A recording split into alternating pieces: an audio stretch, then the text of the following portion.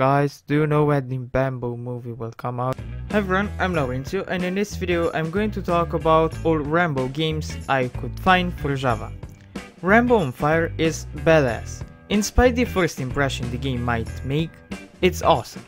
You shoot your way through everything that moves on screen and the game takes you around one hour and a half to beat. You get different sorts of weapons, even in RPG, there are different sorts of enemies, from normal soldiers to kamikaze soldiers and soldiers with RPGs. There are around 4 distinct locations, a forest, a desert, a snowy area and a tropical area. The game is filled with explosions and badassery. The controls are great and so is the gameplay. I recommend you play the game.